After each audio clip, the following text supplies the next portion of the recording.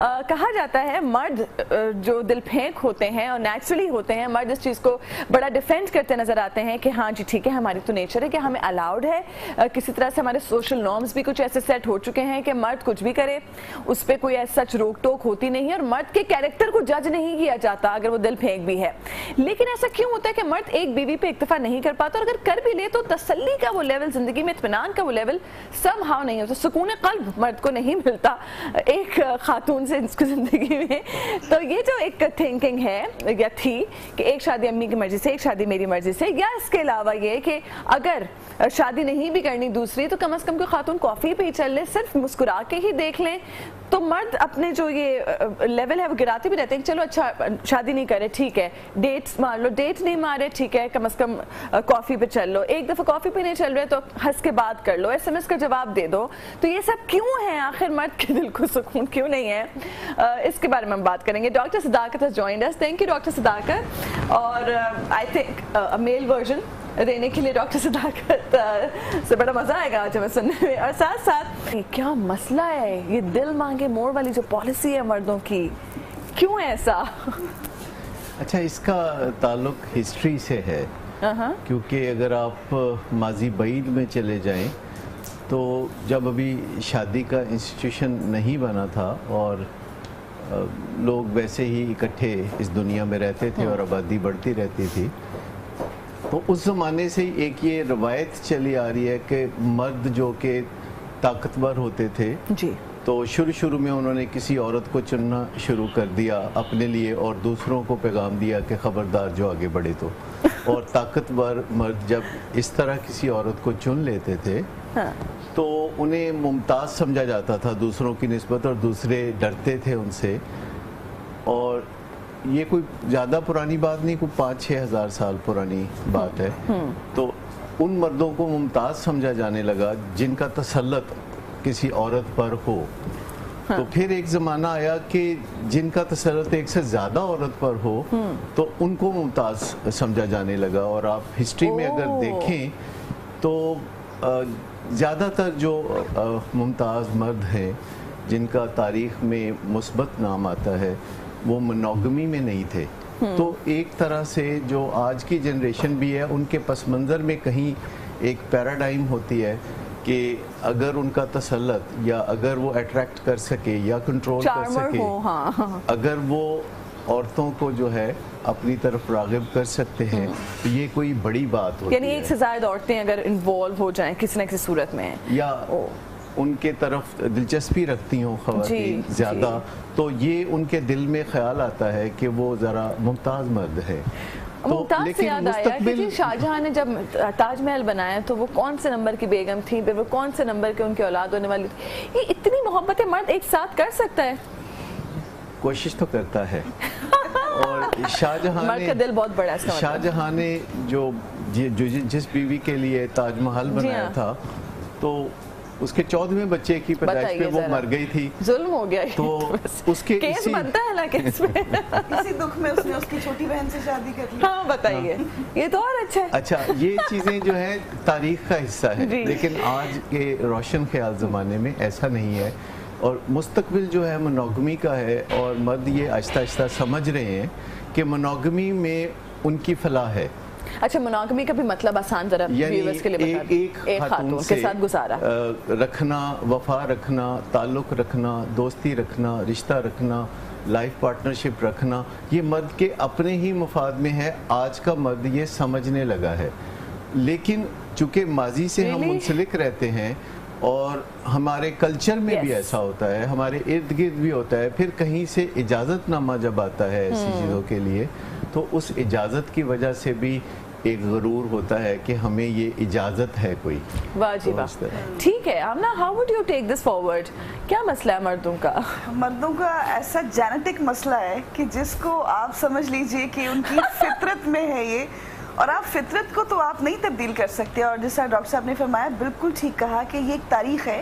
ये एक मतलब कि बहुत इसके पीछे एक स्टोरी है कि आदमी उस वक्त अपनी ताकत का इस्तेमाल जो था, वो इस तरह करता था कि सबसे पहला ऑप्शन तो ये होता था नस्ल को बढ़ाना।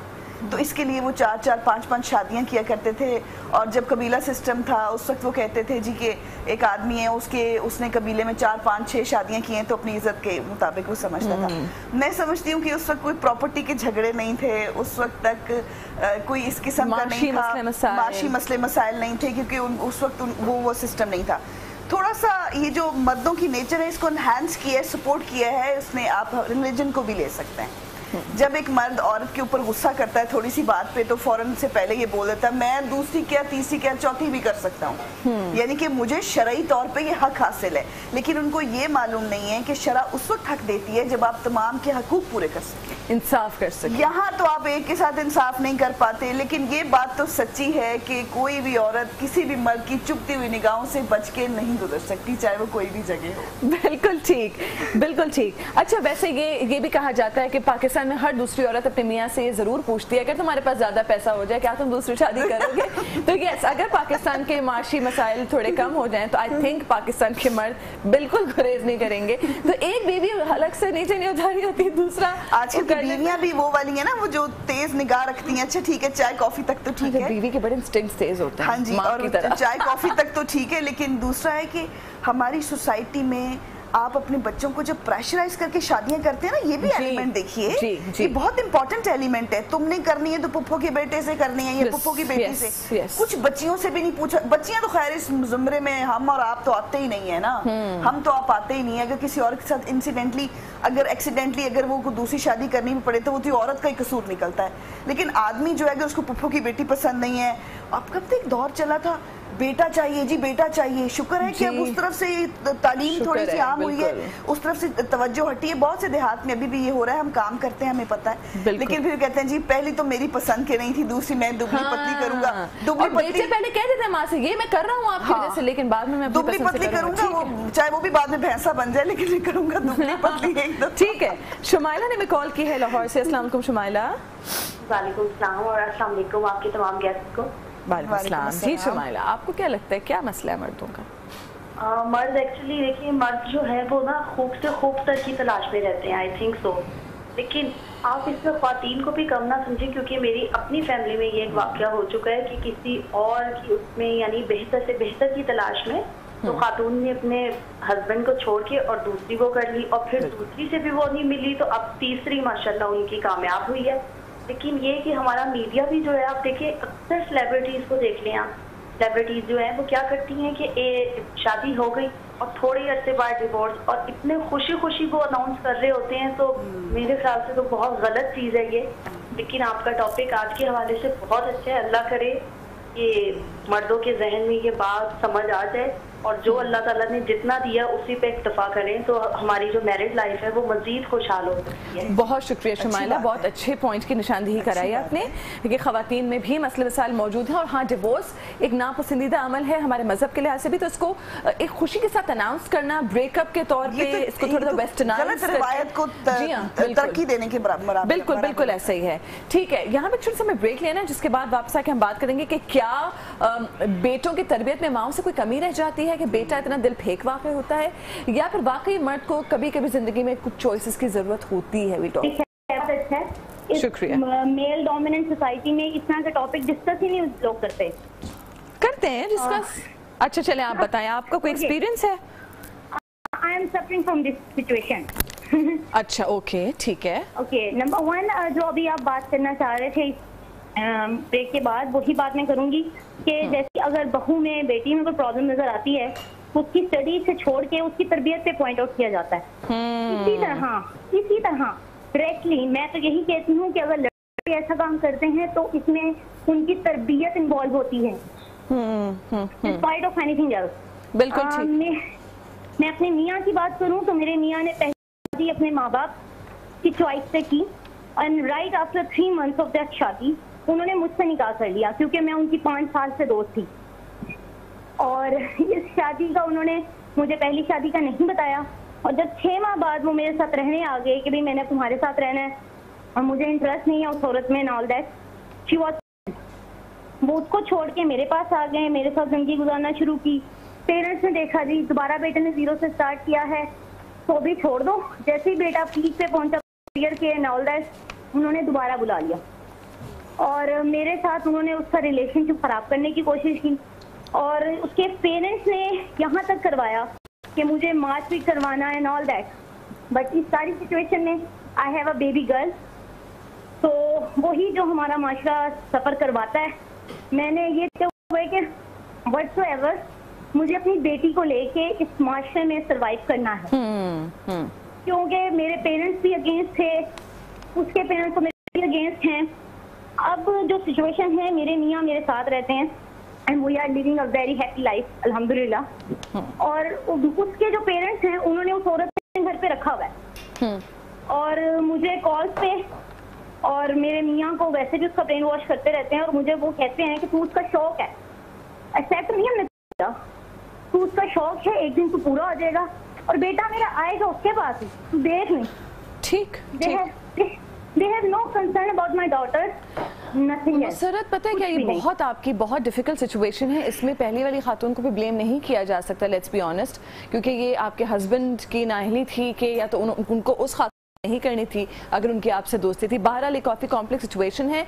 अल्लाह ताला आपके हक में बेहतर करे आप अपनी बेटी की अच्छी तरबियत करें फोकस करें उस पर सिंगल हैंडेडली नहीं सोचें किसी और चीज़ का। आपको की नीयत पता है। आप अपने हस्बैंड के साथ खुश हैं यही मैटर करता है इन दी एंड हमें ज्वाइन किया है शानजा समरीन फैज ने। Shanza thank you so much for joining us international life coach हैं शानजा से भी। उनका वर्जन लेंगे इस पूरी कहानी में कि क्या हो सकता है मजीद मर्द ऐसे क्यों हैं? और अगर ये हैं ऐसे तो क्या कोई खराबी है? अ, कुछ आप कह रहे थे प्रोड्यूसर साहब नाम? शेर दिल साहब की फैसलाबाद से कॉल है। फैसलाबाद से हम कॉल ले लेते हैं पहले। शेर दिल साहब अस्सलाम अस्सलाम जी मरियम साहब कहते हैं ठीक ठाक बिल्कुल ठीक। जी सर बताइए आपका क्या एक्सपीरियंस है? आ, क्या ये ठीक है कि मर्द एक से ज़्यादा औरतों पे नज़र रखें और उनको लुभाने की कोशिश करें या उनके रिलेशंस हों?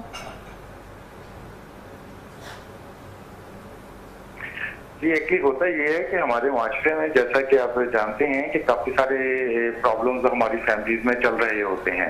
ये ज़रूरी नहीं है कि एक से या दूसरी शादी के लिए। क्योंकि पहले जैसे हमारे यानी कि इस्लाम में ये समझा जाता है कि शादी दूसरी क्यों की जाती है? फ़र्स्ट ऑफ़ ऑल मैं ये कहना चाहूँगा कि एक तो कुछ प्रॉब्लम्स होते हैं हमारी फैमिलीज़ में कि मियाँ बीवी आपस में नहीं बनती है। ठीक है। जो एक दूसरे को अंडरस्टैंड नहीं कर पा रहे होते हैं काफ़ी सारी वजूहत की बिना पर।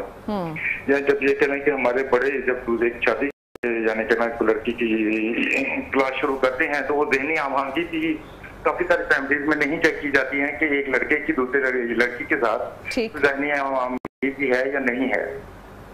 ये भी एक रीजन है। दूसरा कोई दूसरी शादी करना कोई इतनी बुरी बात नहीं है। अगर एक मर्द दूसरे एक औरत को पूरे हकूक दे रहा है तो उसकी शादी अगर वो करना चाहे तो कोई ये इतनी बुरी बात नहीं है। ये बल्कि ये तो बिल्कुल ठीक। बिल्कुल ठीक। सर मैं बिल्कुल अग्री करती हूँ। बहुत बहुत शुक्रिया आपने फैसलाबाद से कॉल की मैं दूसरी शादी के तो खिलाफ नहीं हूँ। मैं हो भी नहीं सकती। अ, लेकिन अ, ये बहुत इंपॉर्टेंट है कि हमें वजूहत जाना ज़रूरी वजूहत बताइए डॉक्टर सदाकर क्यों अपनी बीवी के होते हुए मर्द बाहर निगाह रखता है? क्या ऑप्शन रखना ज़रूरी है? या ये सोचे कि नहीं जी हमारे पास ऑप्शन है ही नहीं। बताएँ। देखिए असल में ये सूरत हाल है कि सबसे पहले समझना होगा कि शादी की ही क्यों जाती है। और ऐसा क्यों ज़रूरत पेश आई कि शादी की जाए? क्योंकि हिस्ट्री में इंसान इस दुनिया पर कोई ढाई लाख साल से है लेकिन शादी का सिलसिला पिछले चार पाँच हज़ार साल से शुरू हुआ है। और शादी का इंस्टीट्यूशन जो है उसको थोड़ा रेवोल्यूशनाइज करने की भी ज़रूरत है। उसको उसके नए पैरामीटर्स लाने की ज़रूरत है क्योंकि इर्द गिर्द दुनिया बहुत बदल गई है। शादी का बुनियादी पर्पज़ ये समझा जाता है एक तो नस्ल इंसानी को अच्छे तरीके से आगे बढ़ाना दूसरा गुर्बत के लम्हात का जो लुत्फ़ है वो इंसान हासिल करे क्योंकि वो इसी रिश्ते में हो सकता है। दूसरे रिश्तों से बहुत सारी ज़रूरतें पूरी हो सकती हैं खाना पीना निगहदाश्त हर चीज़ लेकिन ये ज़रूरत पूरी नहीं हो सकती। और जो तीसरा पर्पज़ है वो कंपेनियनशिप है। एक दूसरे को कंप्लीट करना एक दूसरे के अधूरेपन को पूरा करना कि जो चीज़ एक में कम है वो दूसरा पूरी कर दे। अगर एक की आमदनी है दूसरे की आमदनी है तो एक घर संभाल ले या एक दूसरे के मामलात में उनके साथ चलना। और वो मर्द के लिए भी ज़रूरी है और वो औरत के लिए भी ज़रूरी है। ये जो इकट्ठा रहना है जैसे ये अब अब अब आप हमले ना करें ये मर्द की फितरत में नहीं ये सबकी फितरत में है Really? क्योंकि मर्द हो या औरत हो वो कोई बहुत बड़े एंटरटेनर नहीं होते। जबकि आप उन लोगों के साथ साथ रहना चाहते हैं जो थोड़े एंटरटेनर हो। फ्रेंड्स के साथ हैंग आउट करने में क्यों मज़ा आता है? क्योंकि वो एंटरटेनर होते हैं ठीक है? अच्छा अब मियाँ बीवी के रिश्ते में एक उल्टा काम शुरू हो जाता है जिसे हम कहते हैं क्रिटिसिज्म। दोनों करते हैं। दोनों अच्छा क्रिटिसिज्म के नतीजे में फिर एक रवैया है जो दोनों करते हैं ये अगला गेयर है वो है दफाई रवैया इख्तियार करना कि नहीं मैं ठीक हूँ गलत हो। यानी क्रिटिसिज्म करना बुरा लगता है उसके जवाब में करती हैं। सभी करते हैं। आदमी भी करते हैं। अच्छा उसके जवाब में फिर वो जो डिफेंडनेस आती है कि नहीं मैं नहीं फिर एक दूसरे के घरों तक पहुँचना कि तुम्हारी माँ और तुम्हारी माँ। और इस तरह की बातें होना। तीसरी चीज़ जो होती है वो कंटेम्पचुअस बिहेवियर होता है। क्योंकि करीब रहते रहते झिझक खुल जाती है और पहले थोड़ी सी तोहन अमेज़ बात फिर ज़्यादा तोहन अमेज़ बात फिर उससे ज़्यादा तोहन अमेज़ बात और फिर चौथी चीज़ जो सबसे ख़तरनाक है वो है खामोशी। जब बिल्कुल स्टोन बॉलिंग हो जाती है खामोशी हो जाती है सर्द सर्दमेरी हो जाती है बहुत बुरी वाइब्स एक से आने लगती हैं तो यहाँ फिर फार्मूला सेट होता है कि जो वैक्यूम क्रिएट हुआ है, वो जो कंपेनियनशिप गायब हो गई है, ये जो मजबूरियाँ हैं, ये जो सोशल प्रेशर्स हैं, उनके अंदर से फिर ये कबाहत निकलती है कि इंसान जो है, वो देखता है कि हिस्ट्री में क्या होता रहा, बड़े लोग क्या करते रहे, और हमारा कल्चर किस सोचता है, और उसके नतीजे में फिर सब कुछ होता है। मैं एक ऐसी फैमिली से बिलोंग करता हूँ, जिसमें हमारी नानी अल्लाह बख्शे बड़ी जेनरस थी। और वो अपने बेटों की शादियों के मामले में बड़ा मुस्बत रवैया रखती थी। ज़रा बेटे ने बीवी की शिकायत की उन्होंने कहा जी और कर लो। तो मेरी मेरे चार मामू और सत्रह ममानियाँ थी। बख्शे सब जा चुके हैं दुनिया से। तो अब अपने मसाइल हल कर रहे होंगे किसी न किसी से। नहीं मैं इंस्पायर्ड नहीं हूँ। मैं साइंटिफिकली चूँकि इस फ़ील्ड से ताल्लुक Yes. रखता हूँ तो ये मेरा फ़ील्ड ऑफ़ स्टडी भी है कि आखिर इंसान खुश कैसे रह सकता है? बुनियादी तौर पर तो ये बात है चाहे वो शादी हो चाहे शादीशुदा ना हो। क्योंकि जो लोग खुश रहते हैं उनको ऐसे पंगे लेने की बिल्कुल आदत नहीं होती ना ज़रूरत होती है। तो दैट्स व्हाट यू मीन कि अगर घर में सुकून ना हो मर्द को तभी मर्द बाहर जाएगा। अच्छा ये जो लोग थोड़ा सा मर्द के साथ वो जो स्टिग्मेटिक सा अटैच कर देते हैं रवैया कि वो कोई हवस शौकीन है या कुछ है तो ये वाहद वजह नहीं है। जी मैं मैं समझती हूँ ये ज़्यादातर वजह ये होती है कि जब आपको मज़ा नहीं आ रहा होता किसी रिलेशनशिप में आपके किसी दोस्त से अगर आपको मज़ा आना खत्म हो गया है तो आप थोड़ा अनफ्रेंड कर देंगे ना. आप अनफ्रेंड कर देंगे जैसे फेसबुक पे आप कितनी जल्दी कर देते हैं कोई बदमजगी वाली बात करे तो आप फ़ौरन अनफ्रेंड कर देते हैं। तो है। इसी तरह रियल लाइफ में भी होता है। तो जब किसी शादी की मौत वाकया हो जाती है तो उसको दफनाने की बजाय लोग नई कब्रें खोदना शुरू कर देते हैं। तो ये सारे मसले जो है सोसाइटी हाँ I want to ask you specific question कि मर्दों को लेके जो भी की जाती है कि जी हवस है। बिल्कुल, डॉक्टर साहब ने ठीक कहा, ये वाहिद रीज़न नहीं होता। खातन के लिए आप क्या पैगाम, क्योंकि आपने इतने इतने केसेस स्टडी किए होंगे ना खातन को क्या कहना चाहेंगे कि वो क्या अपने रिलेशन को ज़िंदा रखने के लिए करें? बिकॉज़ ये इंपॉर्टेंट है कि मर्द इमोशनली फिजिकली सेटिस्फाइड हो घर में बाउंड रहने के लिए या उस रिश्ते में बाउंड रहने के लिए? देखिए मरियम, एक बात स्ट्रेट फॉरवर्डली आपको मैं बता दूँ बाउंड करके कोई भी रिश्ता नहीं निभाया जा सकता। ये तो एक इमोशनल बाइंडिंग तो है लेकिन इमोशनल बाइंडिंग इस तरह की जब एक रिलेशनशिप अंदर वही मैं बात एक्सप्लेन करने लगी हूँ एक रिलेशनशिप के अंदर एक मर्द और औरत रिश्ते में बंद गए तो वो मियाँ बीवी हैं। फिर वो जहनी तौर पे एक दूसरे को गुलाम तस्वुर करते हैं इसको आप माने या ना माने? दोस्त बीवी चाहे ये दोस्ती बहुत कम रिश्तों में है बहुत हाई फाई लोग होंगे जी को वाइफ भी जॉब कर रही है हस्बैंड भी जॉब कर रहा है बड़ी म्यूचुअल अंडरस्टैंडिंग है। ऐसे होते हैं। कोई डाउट नहीं है। और मैं आपको ये बताऊँ, हमारे दौर से पिछले दौर में मियाँ बीवी में बहुत अंडरस्टैंडिंग थी। जब रिश्ता देखने के लिए किसी और को भेजा जाता था, एक दूसरे को देखा नहीं हुआ, शादी हो गई, बच्चे हो गए, वो कैसे खुश रहते थे, कभी सोचा आपने? ये सिर्फ़ और सिर्फ़ हमारे इर्द गिर्द जो हो रहा है, जो सोशली एक तनाव आ रहा है, जो चेंज आ रहा है, ये सब उसकी वजह मीडिया का इसमें बहुत बड़ा रोल है। सदाकत मीडिया को ऐसे ठीक है। मीडिया का बहुत बड़ा रोल है। जब एक ब्लेड की एड में भी आप एक लड़की को दिखाएँगे ठीक है तो उससे बहुत से नेगेटिव और पॉजिटिव इम्पैक्ट्स पड़ते हैं। मुझे इस फ़ील्ड में 10 साल हो गए हैं काम करते हुए। आप बिलीव करें मैंने आहिस्ता आहिस्ता आहिस्ता देखा है कि एक बच्ची का जॉब करी है वो स्टैंड अपने पे दूसरी ने कहा मैम मुझे तो इंटर्नशिप चाहिए जो मर्ज़ी कर लें चैनल पे चाहिए वहाँ पे चाहिए। फिर मैंने देखा है कि अगर आप आज देख रहे हैं कि मर्द पहले से ज़्यादा बिगड़ा हुआ है इसमें खातन का भी हाथ है। मैंने कोई कसम नहीं खाई कि मैं औरतों के हकूक की बात करती जाऊँगी जहाँ पे वो गलत होंगी मैं उनको भी क्रिटिसाइज करूँगी गलत कहूँगी। इस दौर के अंदर वो हम्म। शामिल हैं कि अच्छा किसी के साथ चाय कॉफ़ी पीनी पड़ेगी पी लेंगे। अच्छा हाँ ये ये हाँ, ना मुझे बताइए अच्छा, अच्छा मर्द पहले से ज़्यादा बिगड़ा हुआ नहीं है वो पहले से ज़्यादा सुधरा हुआ है। अगर आप माजी में अगर आप माजी में माजी पे आप ना देखिए माजी को लोग भूल जाते हैं। लोगों का एक एक नोस्टैल्जिक बिहेवियर है माजी के बारे में कि पहला जमाना बहुत अच्छा होता था। मैं यकीन दिलाता हूँ कि आप माजी में झाँक के देखिए आपको हर कबाहत आज की नस्बत ज़्यादा नज़र आएगी। डॉक्टर साहब पहले माँ बाप रिश्ता जोड़ते थे और वो निभाया जाता था बगैर देखे निभाया जाता था। वो कौन सी ताकतें थी जो उनको मजबूर करती हाँ अच्छा Shanza how would you take this औरत कहती है आज की मैं बहुत सारी औरतों को जानती हूँ सच में। मेरी एक दोस्त भी है जो अपने मियाँ से कहती है मियाँ दूसरे शहर में नौकरी करता है। वो कहती है हाँ तुम अकेले हो अफेयर चला लो। मैं रहूँगी शादी करके नहीं लाओगे घर? तो ये क्या प्रॉब्लम है औरतों का?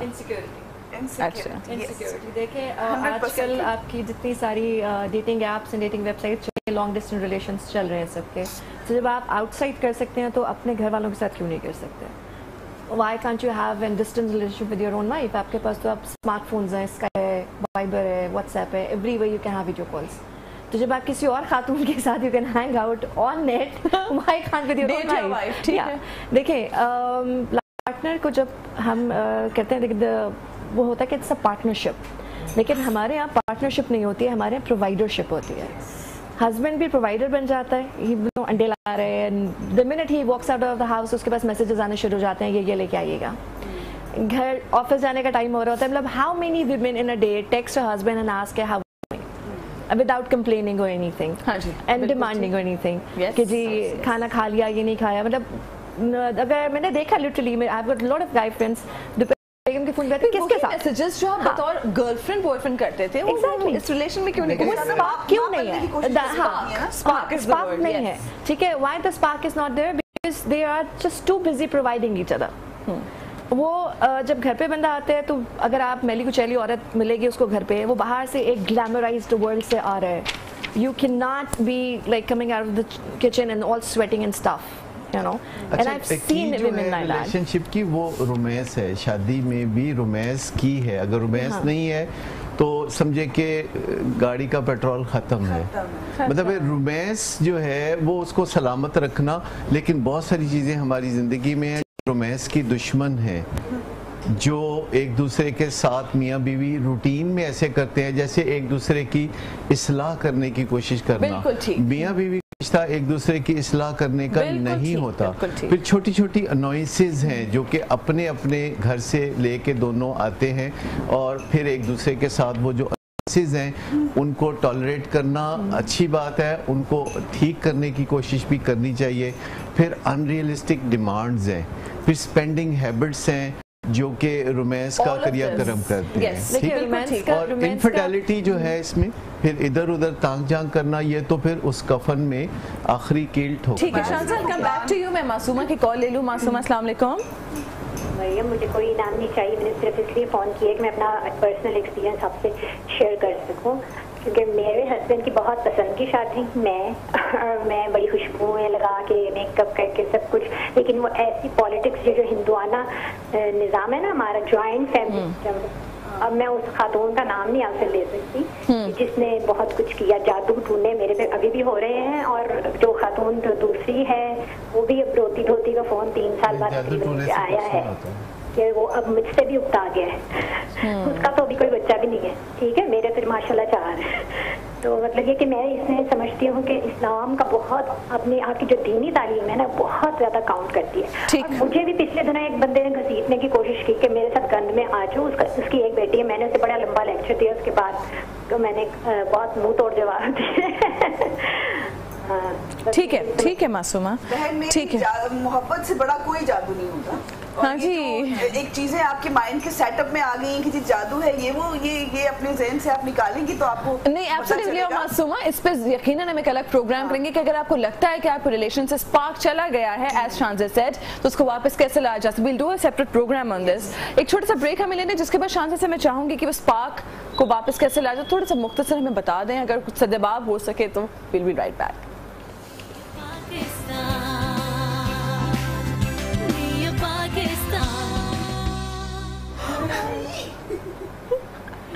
जी वेलकम बैक रिलेशनशिप में स्पार्क खत्म हो, होता है तभी एक मर्द नॉर्मली बाहर जाता है। कुछ तो फितरतन ऐसे होते हैं कि कुछ भी कर लो तो उन्होंने मुँह मारना होता है इधर उधर। वो उनकी हम बात नहीं करें वो तो आई थिंक गॉन केसेस हैं। उनको डॉक्टर सदाकर टाइप के लोग डील कर सकते हैं। अब बाँध बाँध के उनको रखें और फिर उनका इलेक्ट्रिक शॉक्स दें। लेकिन मैं शांति से पूछूँगी कि रिलेशनशिप में स्पार्क खत्म हो गया तो वापस लाना अच्छा कैसे? ये अच्छी पिक्चर खींची है लाने की बड़ी छोटी छोटी चीज़ें होती हैं। आप जैसे हम कहते हैं ना कि आप अपने घर के मसाइल ऑफ़िस में ना लेके आए। ठीक है। ऑफ़िस के मसाइल घर पे ना लेके जाएँ। ठीक। आप अपने घरेलू मसाइल बेडरूम में ना लेके जाएँ। अच्छा हाँ। It it should be your century मतलब बच्चों ने ये कर दिया मेरी माँ ने ये कर दिया मेरे बाप ने ये कर दिया everything should be discussed outside because he is working all day out आप सारा दिन अपने घर के काम कर रहे हो तो वो जो आपको सोने से पहले एक दो घंटे का टाइम मिलता है या हार्डली आप देख लें कि अगर एक घंटा भी नहीं है तो हाफ़ एन आवर होता है। You just cribbing about the issues all day जो हुआ है। तो वो जो पिलो टॉक का कॉन्सेप्ट है वो हमारे यहाँ बिल्कुल ही डाई आउट हो चुका हुआ है ना। So you start with that thing आप अपने आप को प्रॉपर तरीके से ड्रेसअप करें। जो खातून ने कहा कि जी मैं सब कुछ तैयार होती थी या मेरे हस्बैंड ने दोबारा शादी कर ली। देखिए अगर आप अपनी मैं सिर्फ़ एक सवाल पूछती हूँ कि जो इंसान चाहे मर्द हो या औरत अपने लिए स्टैंड नहीं ले सकता तो वो किसी और के लिए स्टैंड नहीं लेगा।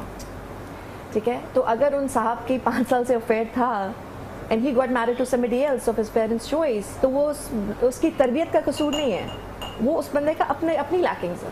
बिल्कुल बिल्कुल। ठीक है? उसकी अपनी लैकिंग्स है क्योंकि उसके अंदर खुद में इतने गट्स नहीं थे कि वो उस वक्त कह सकता कि भाई I can not get married to this women because I have made a commitment इस रोमांस को तो मेरे ख्याल में रोज़ाना हमें एक्टिव रखना पड़ता है। छोटी छोटी चीज़ें आप सुबह आपके हस्बैंड घर से जा रहे हैं आप उसको स्माइल करके ग्रीट करके खुदाफिज कहें आप उसके साथ ब्रेकफास्ट करें it's a very important meal of the day आप अच्छे मूड से घर से निकलते हैं आपका सारा दिन अच्छा गुजरता है। शाम को हस्बैंड आने का टाइम है आपका। आप थोड़ा सा हल्का सा जस्ट शावर लेके just put up a light lipstick and stuff you know so that he should look forward to अच्छा शांति ने ये बात भी बहुत अच्छी कही थी पिछले सेगमेंट में कि मर्द एक बड़े ग्लैमराइज दुनिया से घर में आ रहा है। So you need to he needs to see someone उतना ही एट पार घर में भी एग्जैक्टली बट नॉट नेसेसरली कि जो आप all controlled and all that stuff हो कि जी घर के कामों में टाइम नहीं मिलता। और औरत को पता होता है कि उसको मर्द को कैसी अ, Exactly. खातून और पसंद अपने है। हस्बैंड का और औरत को नहीं पता तो then then she is not the wife ठीक है? आप देखें two side of the coin होते हैं हस्बैंड एंड वाइफ इनके इतने कलर्स होते हैं ना जो आपस में एक दूसरे को पता होते हैं। हाँ। So the best medicine for each other is a companionship जब आपको स्पार्क खत्म है तो कंपेनियनशिप खत्म हो गई है। You can not confide on each other you can not talk about your issues with each other वो बॉन्डिंग नहीं है। सो बहुत सारी चीज़ें जो है छोटी छोटी करके जो कि लाइक आई सेड ड्रेसिंग अब आप प्रॉपर्ली कर लें आप सुबह ग्रीट करके भेजें आप बात टॉक करें। ये मेरी बहनें बोल रही हैं ये कह रही हैं कि कोई ड्रेसअप होने से या लिपस्टिक लगाने से कोई ताल्लुक है इससे कोई खास ताल्लुक नहीं है। ना करें जो बेवफा है वो बेवफा है। नहीं, असल बात यह है कि थोड़ा। हंसमुख होना ज़्यादा ज़रूरी है। और यानी आप माहौल को खुशगवार बनाने की सलाहियत रखते हो मैं अभी कुछ टिप्स बताऊँगा आप नहीं ठीक है ठीक है। तो मैं लेकिन ये जो होता है ना तैयार होना अच्छी बात है कोई लेकिन ये कोई बहुत पॉसिबल नहीं कम से कम हाइजीन का तो ख्याल रखें। ठीक है ठीक है। और हँसते जो ये कह रहे हैं कि एक माहौल and खुशगवार and then you should be laughing and all अभी तो आदमी पे डिपेंड करता है आप ना। हस्बैंड वाइफ आपस में फ्लर्ट करें। दूसरे से good. much fun मरी- ठीक है आमना. सॉरी शांजी टाइम बिल्कुल कम है मैं चाहूँगी सब कंक्लूड करें। आमना मुझे बताएँ कि आपने मजीद कुछ चीज़ ऐड करनी है अगर इस पे इसी मैं सिर्फ़ ये कहना चाहूँगी कि सबसे अच्छी बॉन्डिंग हस्बैंड वाइफ की तब होती कम्युनिकेशन हो, हो रहनी चाहिए। कम्युनिकेशन गैप से ही। रिश्ता खराब होता है दूसरी तीसरी चौथी शादी की तरफ़ जाता है। आप कोशिश करें, जो भी प्रॉब्लम है उसको बैठ के सॉल्व करें।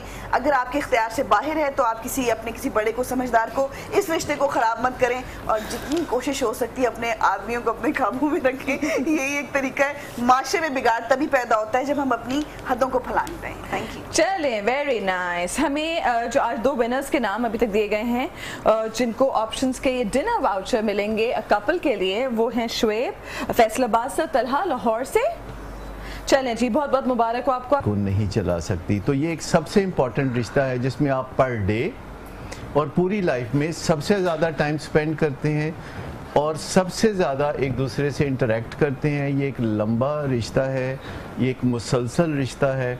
जिसको निभाने के लिए कुछ सर्टन एटिकेट्स हैं जिसमें अपनी मेटिंग रेटिंग को बढ़ाए रखना।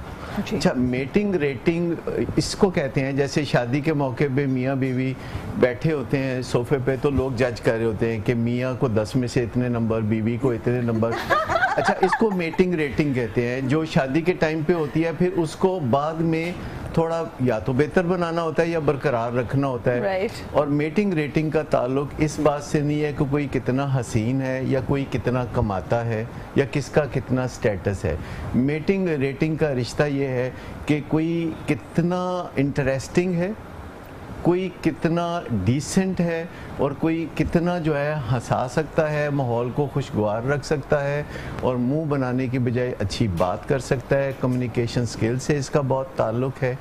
तो ये जो चीज़ें होती हैं, ये बड़ी इंपॉर्टेंट होती है। फिर टुगेदरनेस शादी का बड़ा अहम हिस्सा है जिसमें आप एक दूसरे के साथ मिल के बहुत सारे ऐसे काम करते हैं नेचुरली जो आपका टाइम एक दूसरे के साथ अच्छा गुजरता है।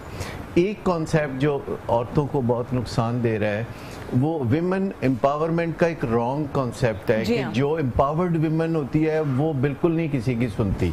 वो खामद को बिल्कुल कुछ नहीं समझती। तो ये जो कॉन्सेप्ट है तो जितनी भी एम्पावर्ड विमेन है उनमें आपको तलाक की शरह बहुत ज़्यादा नज़र आती है। फिर जो लोग बहुत ज़्यादा किसी फ़ील्ड में सारी ज़िंदगी आगे बढ़ते रहते हैं जैसे डॉक्टर्स या इस तरह के कुछ और पेशे तो उनको दुनियादारी नहीं आती फिर उनको शादी निभानी भी नहीं आती। इसलिए डॉक्टर्स की शादियाँ आपको और ख़ास तौर पर कामयाब डॉक्टर्स की शादियाँ आपको बहुत ज़्यादा ट्रबल में नज़र आती हैं।